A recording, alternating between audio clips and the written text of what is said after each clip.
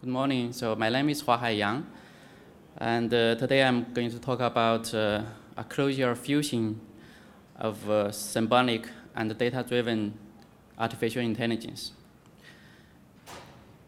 So I was trained academically as a psychologist.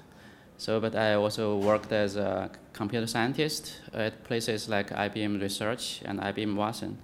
So now I'm a co-founder of a company called Juji. So what does Juji do? Uh, chatbot platforms. So where organizations can create chatbot to talk with their audiences. So if you have done it before, you will know how hard it is to build a chatbot that actually can talk like a human. And some may argue that you really need uh, AGI, artificial general intelligence, to do that, or at least you need to pass Turing test. You know, the test where uh, a machine is uh, considered as uh, passed the Turing test when humans cannot tell if he's, he's talking with, uh, with a machine or with a real human.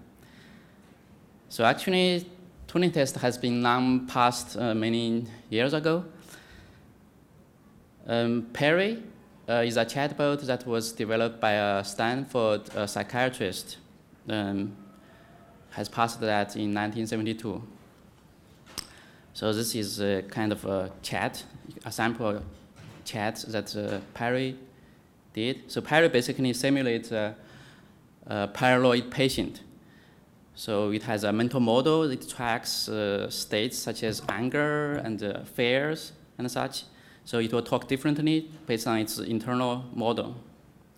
So a panel of 33 psychiatrists can only tell this is a machine from a real patient only at 48% uh, of the time. So actually at the chance level. So that means uh, uh, PARRY passed Turing test. So lesson here is that uh, if you have a consistent and reasonable mental model, it actually it's not that hard to build something that uh, actually talk like a human. So at Juji, so we also uh, built a chatbot, um, but uh, we feel that actually it's harder to build a chatbot that actually does something that's useful for people. So this, this is uh, actually what uh, Juji's chatbot does. And uh, Juji chatbot all have an agenda, so I have a purpose. So for example, here we, we show you some example of uh, conversation uh, with a gamer. Uh, this is after uh, the chatbot already shows the, the gamer some, some gaming trailers. So this is to collect data for, for our marketing research customer. As you can see, this bot, in addition to uh, be able to collect feedbacks from, from user about this game trailers. They're also collecting information about uh, the, the gamer's preferences and other information so that uh, we can do analysis on those information.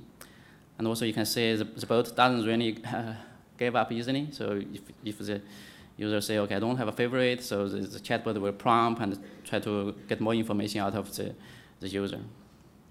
So there are many other use cases for this kind of chatbot. So Juji has deployed chatbot for, uh, in addition to interview people, we can also uh, you can receive uh, uh, as a kind of online receptionist to receive visitors to your website, and uh, also have used it for screening job candidates. Um, some other companies use it to check up on their trainees. So so if you use it for, for survey people, actually we conduct uh, formal studies to compare with uh, like form-based survey. So uh, chatbot has uh, kind of double the completion rate and also has much higher quality in terms of uh, inf informativeness, informativeness of the responses you get from those people. So more importantly, actually, people feel this is really fun experience. So some people say feel like this is a friend for them and uh, they really like it. So we are able to do this, um, do this long travel tasks uh, because we, we took a very unique approach to approach to build practical AI. Uh, we, take, we took a hybrid approach. So basically, we integrate the so-called traditional AI, uh, sometimes called the symbolic AI, and integrate well with uh, so-called data-driven AI, mostly nowadays is uh, machine learning and deep learning based. So where we use uh, symbolic AI as a kind of bones, and the data-driven component as a flash. So I will talk more details about how what that means. And all this is done in a Clojure DSL. So this is what uh, the DSL looks like. And I will get into details explanation. So this DSL is called REP, uh, Responsible Empathetic Persona. Before we dive into this language, and uh, let's step back and uh, I will give you some intuitions how and why uh, we choose this approach to develop AI. So we all know that uh, AI summer is back. Um, if you have know, we have experienced several episodes of uh, AI winter. And for example, uh, AI is now in the news almost daily. So we have news such as uh, Watson Jeopardy beats human, AlphaGo beats uh, world champion in Go. And we, we already use, are use, using AI assistants, like Siris in your phones and in your home. You have a lot of uh, assistants. And also as um, a lot of uh, companies uh, building commercial products uh, of AI. So most of those AI applications is riding on the success of the deep learning uh, approach. So basically, deep learning are those uh, neural networks that have many hidden layers. So deep learning have revolutionized uh, image processing, computer vision, and uh, has many, many uh, applications. And people can even use deep learning to create uh, digital arts. So in many people's mind, AI basically means deep learning. So, um, so AI is all about deep learning. So we want to do some critical assessment. Okay, is that true? So is uh, uh, deep learning is really AI? And uh, so in the big scheme of things of AI, where does uh, deep learning fit? So it's, um, uh, in my opinion, and of course in some other people also share the opinion that uh, what the deep learning does is actually solving the perception problem. So what is perception? So perception is the organization, identification, and the interpretation of uh, sensory information. So in order to represent and understand the presented information or the environment. So that's the definition. So that's precisely actually describe what uh, deep learning does. Basically, deep learning uh, takes the raw sensory input such as uh, pixels, uh, text characters, those raw data, and, and turn them into uh, some known labels also known as classification. Or you, you turn them into some range of some numbers, those are regression. Or sometimes you want to kind of normalize it into some kind of a smaller space, uh, uh, turn them into fixed uh, length vectors. Those are called embedding. So all those are actually are perceptual tasks.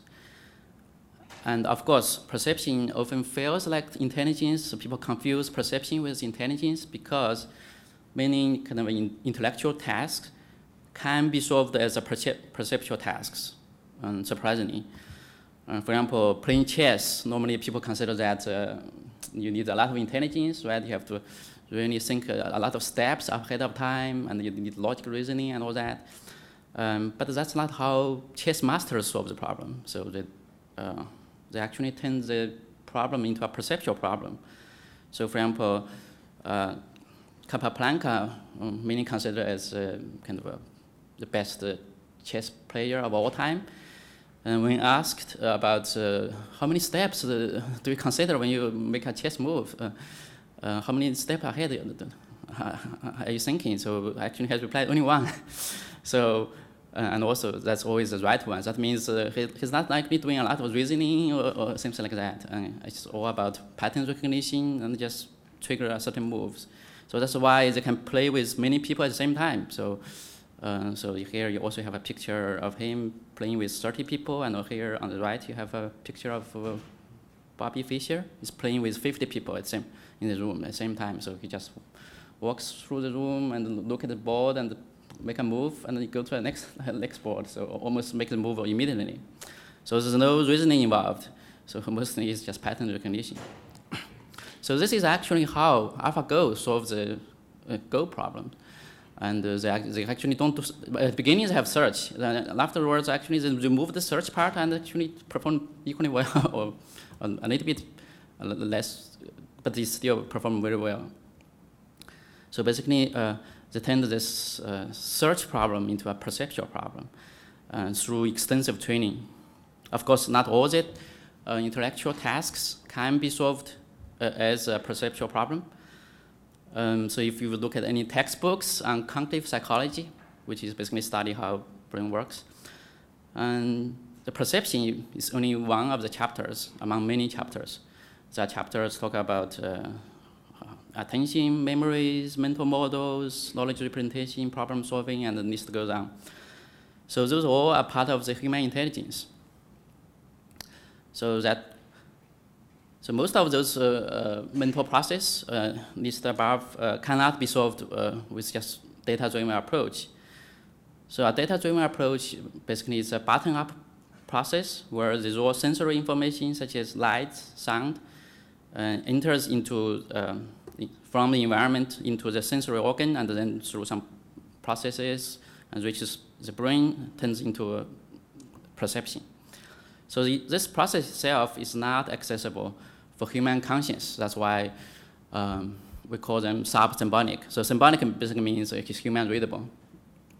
So most of the process is not uh, human, it's not in your conscience. And so that's why we call them uh, uh, kind of bottom-up sub-symbolic process.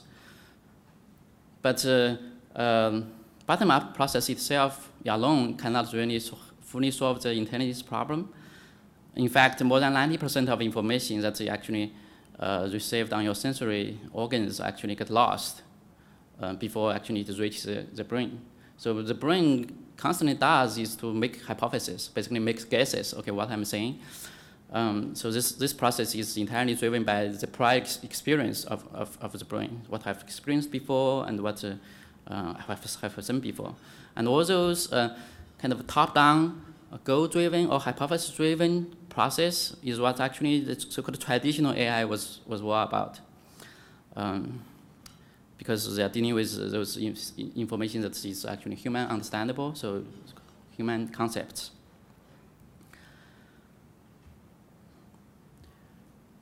So that means uh, in order to solve this artificial intelligence problem, we actually need both a bottom-up process where you get data and a top-down process where you have goals, have, have hypotheses. So with the rise of deep learning, so um, we may say that the bottom-up process or the perceptual problem is kind of semi-solved. And although some people argue that it's still not completely solved because uh, what uh, machine learning or deep learning learned, this kind of representation is uh, maybe not of the same nature as what uh, actually brain learned. Um, but uh, for many use cases, we consider that's good enough. So we consider the, the perceptual problem actually semi-solved. That actually, with that, you have much better kind of solider foundation to build up a symbolic system. That's why we think uh, it's my opinion that actually it's time to bring back the symbolic AI. Um, so the most successful kind of symbolic AI in the past we, we did was uh, expert systems, right? So expert systems are basically uh, networks of uh, production rules. So what is production rule? Basically, it's a if-then statement. Um, so it's basically a large graphs of those uh, rules. So many of those uh, symbolic AI systems can be helped with kind of a, can be also be turned into a graph search problems and, and which happen to be the same kind of problem that can be helped by like a, um, GPU hardwares because any graph search problem can, can be turned into matrix multiplication. And that you can use the same thing that is driven deep learning to drive uh, symbolic AI. Then also we have uh, much better, more abundant realistic data that can help uh, construct this kind of knowledge base that uh, symbolic AI needs. And finally, we have much better software tools than before. And uh, for example, uh, most of the symbolic system was traditionally built with Lisp. So now we have uh, modern Lisp like, like Clojure. So that really makes this uh, process much easier than before. So there, of course, there are some trade-offs between uh, symbolic AI and sub-symbolic AI. uh, so the data, the weakness of a data-driven approach is that it's entirely driven by data. So that what if somebody gives you bad data? So it's very easy to kind of uh, defeat or abuse um, uh, data-driven system if you have some uh, malicious actors. So for example, uh, here you have a, have a panda, so with 57% confidence, this is a panda the system. But if you add some lawyers, well-constructed lawyers, and it will, the system will have 99% confidence saying, okay, this is a, a gibbon. So, but the, this is actually a gibbon looks like. So, so human will never make this kind of mistake, but a, a deep learning system can be easily fooled to, uh, just by adding some noises that is human undetectable, and but the system will fail. So, um, so that's kind of weakness of the entirely data-driven system. Uh, in the chatbot uh, world, the, another example is uh, the Microsoft released this uh, chatbot um, maybe last year, um, a few years ago. It's called Tay. So within 24 hours, this uh, boat was taken down because it's starting to talk like hate speeches. Because there are some malicious people, users just feed them some bad data and, and starting to talk in uh, uh, hate speech, so it has to be taken down. So as you can see, if your system is purely driven by data, so it is easily, abused.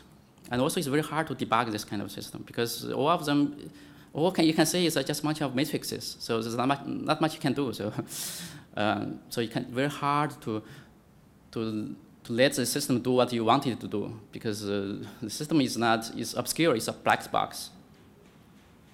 So that's the weakness of the data-driven systems. Um, those problems I, I, I mentioned uh, actually is by design because the system is, is driven by data. So it's by design. Um, it has to be, the only way to influence the system is through data. So that's, uh, those problems is very unlikely to be fixable without some help from the symbolic uh, component or symbolic systems. So on, on the other hand, so the purely symbolic uh, system are often very br brittle, so it's very easy to make some catastrophic mistakes um, because everything is uh, or basically, or nothing. Um, and also very difficult to develop because uh, humans are not used to think like a machine. So humans are never lo very logic and all, it's not very consistent in their mind. So it's really hard for people to develop this kind of system because you, you, you have to think like a, like a machine to be able to, to do well, uh, to, to build a good symbolic system. So also, of course, in principle, if you have really good developers, really kind of train themselves to think like machines, yes, maybe they can do well. And so in principle, those problems can be solved. But uh, in practice, actually, that's how uh, the traditional AI in the past actually failed to realize their potentials. Um, because in practice, it's very difficult. That's why we need to kind of combine those two, two approaches together. So, so there are basically two ways to combine uh, symbolic system and sub-symbolic systems. So one way, uh, actually most people has tried, is to implement symbolic, uh, this symbolic phenomena such as kind of reasonings, uh, uh, attentions, etc., in sub-symbolic system, in, for example, neural networks. So this is uh, actually ever since um, in 1950s, people discovered that you actually can implement uh, finite state machine with neural, neural networks. People have been starting to work on this problem for like half a century continuously. I consider the current uh, uh, efforts in deep learning community to try to implement reasoning with neural networks is belong to the same kind of uh, uh, research traditions. And the problem with this approach, of course, this approach is very attractive because this sounds like the way brain solves the problem, right? Brain, in the end of the day, you can consider it's a, it's a huge network. And uh, emerge from that, you got, uh, you got the memories, you got the reasonings. So it sounds like a, is the right way to do this. Um, but the problem is uh, after like more than half century of efforts, we have not uh, actually uh, produced anything that's practical with this approach. and in my opinion, uh, in the near future, I don't think this will generate something, this, this approach will not bear fruit that uh, is going to uh, allow us to take this approach uh, to, to practice. So fortunately, just like uh, uh, aerospace engineers can successfully build flying machines without understanding how birds flies, um, we, I believe that uh, we can also build practical AI without having to mimic how brain does it. That is, that is to say, we can combine the strengths of symbolic and sub-symbolic approach to build practical AI today without having to grow uh, intelligence out of neural networks. So this is actually, so how does this combination work? So if you, uh, at Juji, we basically did this by treating the symbolic system as a bones, basically the basis system as a framework.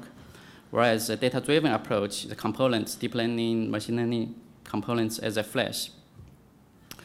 So symbolic system is chosen as a base system because it's uh, amicable for human inspection and human uh, intervention. So we can actually easily grow the system and, and adapt as the user requirement changes despite the fact that this kind of system is very rigid. And on the other hand, the, the data-driven approach, like deep learning, machine learning modules, they're easier to develop because all you need is feed, feed them data and then tune some parameters. It's much easier to develop. Uh, and also, they actually generalize better because you know, with diverse different uh, situations because uh, degradation of performance actually is smooth because you're not dealing with binary things. However, of course, we already started uh, talking about those components are black boxes. Um, so it's not human changeable. So we should use them as a, we should use them as black boxes uh, because they are black boxes. So and so in, in the Clojure world, basically we can use them as functions. So this is how actually Juji uh, was built uh, from high level. So we um, uh, the business users basically use a graphic user interface to create uh, or config, we call them config um, a chat. Of course, first they have to select a template, and then they can change some options, uh, add some content. And all those configurations are stored in Postgres. And then a code generator takes those information and then generates uh, the REP script, uh, the DSL we developed. And of course, the business user, if they like to do something customized, they can have an IDE they can work with directly uh, with REP code. So the generated code and the, uh, all those uh, chat management information are stored in Datomic. And so when a user come in to, to start chat with one of the bot, so if this uh, happen, this bot doesn't have to initiate it yet, um, so if the script has not been compiled yet, uh, uh, the system will retrieve the script and compile it. So basically, the compiler basically is a state machine compiler. So we compile the uh, REP script into optimized uh, state machines. Of course, you, you can also need to handle other um, functions, and uh, one of those functions are the deep learning, machine learning uh, components. So all those uh, is all those computation is actually handled is not currently. I would like to write in Python, uh, in Clojure, but the, uh, the Clojure ecosystem in this space is not there yet, so we are still mostly uh, using Python uh, for those computations, uh, machine learning and deep learning. So all those com uh, computation was distributed via Kafka. So we have multiple TensorFlow instances which handle, um, handle the computations. Uh, and then this REP script runtime basically will uh, generate a bot for individual. Basically, each, each chat session will, will, create a bot for it. So of course, this bot has to be stateful, has to remember what I talked before. So it's very stateful. So throughout the whole process, uh, user select a uh, chat template. This template itself, of course, is written is in EDN file. Uh, the user configurations, the did in the UI, also in EDN files. And the script itself actually are EDN. And so basically we, turn one kind of EDN format into a different kind uh, format. And then even the, the script compiler also generates actually the, the results of compilation is also, the state machines are also represented as uh, data. So it's data all the, all the way. So this help, can enable us to kind of develop individual component in, relatively independently. Basically, it's just data in, data out. So very easy to test, very easy to develop. So let's dig into more kind of details of how this uh, language looks like. So the basic building blocks of this uh, um, REP language is, uh, we call them topics. Topic, you can basically think of them as a set of rules. So this is a first hello world topic. Um, so you have a name, topic can have a name, or you, you can have anonymous topic if you so desired, If you have some one-off topic. The topic can take arguments, just uh, very, very similar in format uh, to, to a function.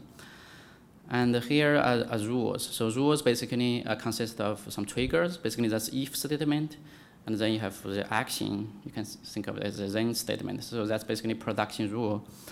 Um, so here, uh, this trigger, this is empty, meaning it's always going to be true. So, um, and so it will basically say hello world so proactively. So let's look at um, more details of the production rules. Um, so each rule actually is associated with uh, some follow-ups, uh, zero or, or more follow-up topics invocations. So for example, in here, you have a rule which basically uh, try to find uh, any one of those possible tokens like hello, hi, hi, howdy. Uh, if your user input contain any of those, it will be considered as a match. So this is kind of an alternative pattern. So the syntax of uh, this keyword of one, meaning, okay, one of any one of those. If it contains any one of those, uh, this is going to be a match. So the, once this is matched, and then um, this rule is considered fired, and this is the output is uh, nice to meet you. It's a string output. So this rule, once it's fired, and the, the, it's associated, so here we have one associated follow-up topics, which is called uh, talk about weather. Of course, this topic I already defined somewhere else, so um, where you can talk about uh, the weather. So this is kind of basic structure of, of, of, of uh, uh production rule. So of course, topics uh, a collection of rules, and uh, and also topic can compose. So one topic can include other topics. So here we have example. Uh, this uh, greeting topics may have many different cases. Like you have greeting, make greetings in the morning, greet, make greetings in the evening. You, uh, say things differently, and uh, so all those are already written, like morning greetings, evening greetings. Those are already written somewhere else. all you need to do is include them. And here it says include before, meaning that the rules in those topics will be tried before the rules in this particular topic. So this is how we compose topics together. Um, so let's look at a little bit about more details of what the, the patterns can use in the in the triggers. So here, uh, the top, so basically patterns you can think of as state machines. So it's based on token based instead of, it's, very similar to regular expression, but the only differences is that instead of it's character based, here where uh, the matches are token based. So for example, in the first example, uh, I love uh, pizza. This pizza, this uh, this kind of keyword meaning from uh, there can be one or more tokens between love and pizza. So this is kind of a sequence pattern with a wildcard. You can specify how many tokens it can be before uh, between love and pizza. And also, this, those are all uh, uh, symbols meaning that uh, all those symbols will actually will do automatically do lemmatizations, so that uh, you can say I love or loves loved will uh, be, be matched. So lemmatization is automatic for those symbol-based uh, token uh, pattern.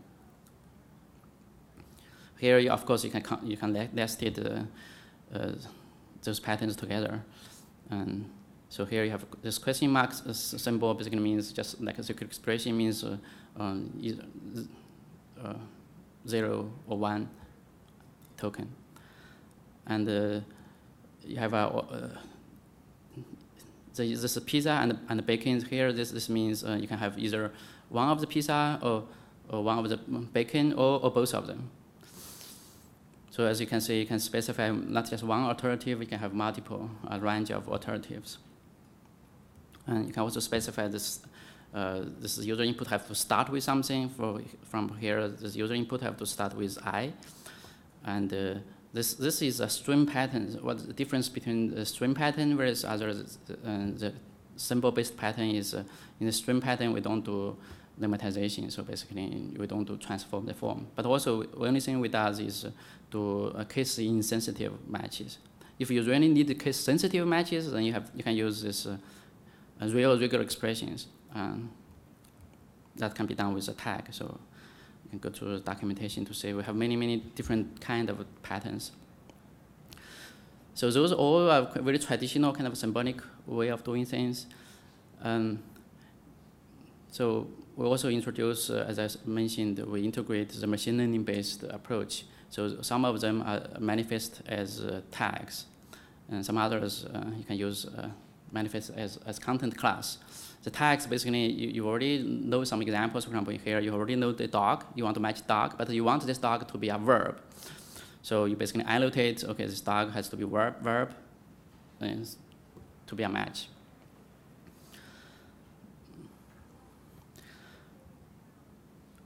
So for this kind of keywords, is use a placeholder for some kind of content class. From here, this uh, phrase uh, NP meaning okay, anything that is a long phrase, um, uh, she love any long phrase will be a match. Similarly, you can you can match organizations, uh, you can match durations and others. So this is how basically we take the machine. Of course, all those tags are backed up by machine learning based models, NLP models. So, and also for deep learning, as we already discussed the neural networks, uh, they are universal function approximator, so they should be used as a function. So anything else is just uh, a built-in. So that's why we actually um, uh, use them as functions. So in this particular example, so this pattern actually is very inter uh, interesting that is you can see actually we freely mix the pattern and the functions. So every function uh, in a pattern is treated as a boolean, okay, no matter what you return. We, we basically, basically use the clear semantics uh, is used as a boolean, and all those patterns are considered as all the, uh, added together within a pattern. So for example, this particular pattern means uh, this user input has to con contain the word programming. In addition, this whole input should belong to the category of uh, self, user self uh, intro should be relevant to self introduction. So of course, this self intro relevance model is a deep learning, uh, is a machine learning model we trained. Um, so all you need to do is to, to, to specify okay, which model you want to use, and uh, and use this uh, function called input in this category question mark. And of course, you can specify a threshold how much you uh, how strongly you want this match to be. So, um, so here we specify 0.7, that means, okay, uh, it's okay to be, need to be relaxed. So the input, user input has to contain programming. At the same time, they have to, this whole user input has to be talking about uh, self-introduction. So in that case, then uh, this, this rule is considered matched, and then the bot will say, oh, you must be a smart person. Um, so if you look at the, uh, a topic, so topic consists of a bunch of rules, and each rule is basically is a and uh, Boolean uh, expression. So the, the topic, is, the whole topic you can consider as a, uh, it's kind of a disjunctive normal form. So basically it can match anything that you would like to match. So let's look at other uh, examples of how we use deep learning. Um, here we are using basically um, TensorFlow-based sentence embedding to calculate the similarity um, between the user input with some, with some so-called anchored sentences we have. So here you can make a, a, list of sentences you would like them to, to be similar to uh, in this pattern, and you want the similarity score between the user input and one of, one of those uh, uh, sentences to be greater than 0.9, so you really want to be uh, similar to any one of those. So this is how you can, you can, you can imagine, you can very easily write patterns by just give some examples. Um, so, so of course you have the tools of deep learning, uh, machine learning based models. Now also you have the tools of kind of a regular expression type of uh, symbolic um, patterns. So what role you, uh, based on our experience, uh, normally you want to use machine learning or deep learning based models to cover kind of broad cases. Example, okay, um, topic, okay, this is about uh, talking about self-introduction. So that's very high level things. It's very hard to write, write all the possible patterns for that. But it's uh, with deep learning because it's just trained with a lot of data, so they have they can have produce really generalizable model for, for that. But the, the, whatever, how, no matter how good your model are, you're always going to miss some cases, or you have wrongly classified some things. Um, so for those misses, um, you basically use symbolic approach to, to fix bugs, to, to pull, plug in those holes. So you, of course, uh, another way to do is, is you use this machine learning to cover the broad cases and then use this uh, pattern-based approach, a symbolic approach to kind of uh, refine them into really specific cases.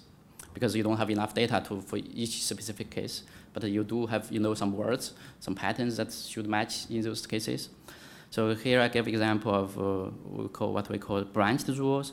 So as you can see, this rule um, so have two parts basically. So this uh, the top part is a kind of top ma top matches, which is entirely based on similarity. And once that is matches, and then we can further refine these matches. In addition to belong to this category, also you have to contain this word programming. If that's the case, you will say, oh, you must be a smart person. If that if it's a different case where people the input contains art, oh, you can say, oh, I enjoy, oh, I enjoy art too. So basically, you can make the conversation like as if you actually understand what they are saying. And uh, but you can always have a default. So if you none of those cases matches, you can always have a default. Oh, thank you for uh, for the introduction.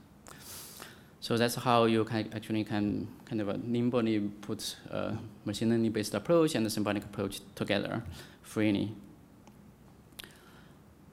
And since we have well, you can even do much even better. So you can even uh, a topic can be turned into a function, and this function can be used in another pattern. So you can do recursion like this endlessly. Um, so actually, in fact, you can even create topic on the fly because it's all just data. So topic is just a list that you can just you can generate, and this this whole runtime is also accessible during you can call them in, in your script. So for example, here we just create a topic from. Uh, uh, create a function from a topic we have written, give it a name, and then you can just execute it to, to generate some kind of speci specific output. You can even do this on the fly. So the pain of most of the uh, developing a conversation system or conversation agent is actually how to manage this, conversation flow. So uh, a lot of uh, companies have chatbot uh, APIs. most of the all of the tech giant and IBM, Google, Microsoft, they all have APIs to, to, for, to help you to understand the natural languages but none, none of them provide uh, any tool to manage the conversation flow or very primitive tools. So it's very painful to develop those kind of uh, um, conversation, manage the conversation. So this is what actually Juji actually does it for you because uh, this REP is a declarative language. Actually, you don't manage the conversation flow yourself. And all you need to do is to say, okay, this is this how you want to use certain topic. You, do you want to use it as a kind of agenda topic where this has to be done? And this part uh, on, on this uh, bot is agenda. So basically, if it's on the bot agenda, the, the is basically trying to to do this, uh, to get, this, get it done and they're very persistent. Or you, you can use it as a so-called adlib topic. Adlib topic basically will be tested for any of user input, meaning that uh, anytime, you, for example, user may ask you on user relevant question, sometimes the user even curse you or something. So all those kind of a user trying to test bot how it does, those normally you want to put them into adlib topics where it always be tested. And so, of course, you want this topic is really specific, and also you have to manage the state. Uh, you have to remember what I had said before, and all those, and all those are mostly managed by the built-in topics that uh, Juji written, um, based on our, our uh, experience. And so those things you don't have to worry about. And of course, there are always cases where the bot cannot even handle, or you, you have a script error, you, your script actually run into a loop or something like that. And those will have some topic called exception topics. Those will handle those cases where you kind of running into a dead end. So, so that uh, we can make sure this conversation always goes back to, to the right track. So all those are managed through a, a stack. Actually, it's very simple. It's a, a single stack, and uh, we just pu push the stack uh, topics around. So that's how we manage the conversation flow. Um, so, um, so in conclusion, uh, with this uh, symbolic plus data-driven approach, we, we think is actually practical today to build AI, uh, which is practical. And you don't have to really understand how uh, brain works to, to build something useful. Uh, definitely is going to pass a Turing test. So because I already said it's pretty easy to pass Turing test, but um, the benefit of this, you can also, the bot actually can do something useful, not just uh, talk with people, sounds like a human. That's not enough. Um, uh, for this, I think Clojure is a great choice um, for doing that because Lisp was uh, the language of symbolic AI, I think it still is um, the language of symbolic AI because you can do a lot of things that you cannot possibly be doing in other languages. And also, especially the data orientation of Clojure makes this very easy to, to integrate uh, symbolic approach and uh, uh, sub-symbolic approach. So that's uh, uh, the end of the talk. Any questions?